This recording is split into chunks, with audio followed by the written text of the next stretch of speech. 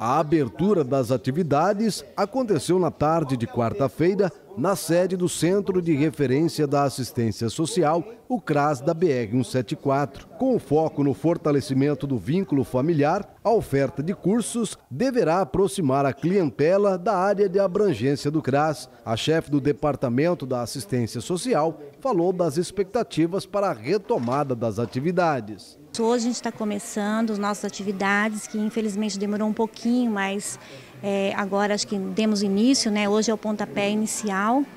E esse é o serviço de convivência e fortalecimento de vínculos, onde a gente está trazendo, tem os as oficinas, nós estamos com quatro oficinas, que é informática, teatro, corte costura, bordado, e agora estamos com mais duas para começar, que é o judô e a, e a piscina, a aula de natação. Então, assim, a, o objetivo é trazer essas crianças para dentro do CRAS, para que com isso a gente consegue, consiga trabalhar tanto as crianças quanto as famílias, que é esse o serviço do CRAS.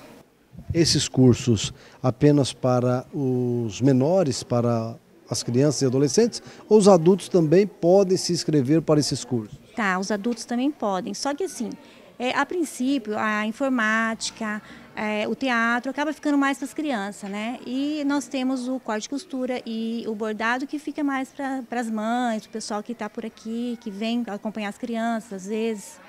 Agora, é sempre um desafio. O CRAS, o município oferece, é preciso que o público-alvo compareça.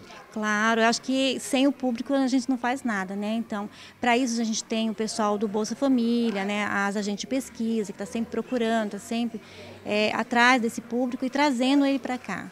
Quem não veio hoje na abertura pode procurar durante os próximos dias para se inscrever? Claro, pode vir, a gente vai estar fazendo as inscrições, já tem, já tem muitas inscrições prontas, já feitas, né? Essas crianças que estão aqui hoje, é, quase que a to, total já, tá, já, já preencheram as suas fichas, mas ainda tem vaga.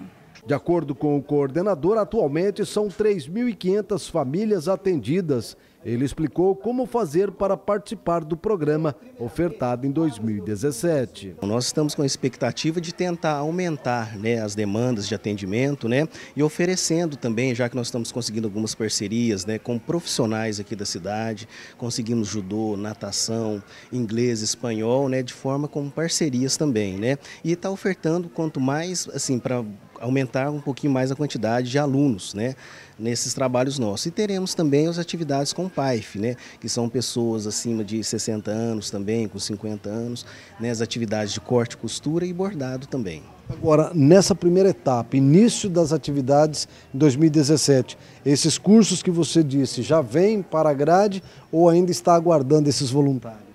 Não, os voluntários, eles já estão aqui conosco, nós já estamos reunindo com eles, né? Só que o desafio maior é a gente conseguir também preparação dos objetivos, dos, dos locais, né? Por exemplo, é o tatame para o judô, né?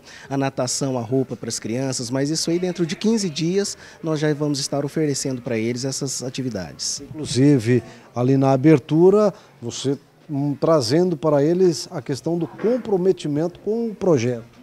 Isso mesmo, né? Porque essas parcerias eles vão nos auxiliar muito, porque são muitas crianças. Então nós vamos atender cerca de 200 crianças mais ou menos, né? E quanto mais profissionais, nós vamos conseguir dividir e vamos fazer um rodízio também. De três em três meses, essas crianças vão participar de uma determinada atividade, onde todas elas vão poder ser ofertadas por todas elas e não apenas uma durante todo o ano.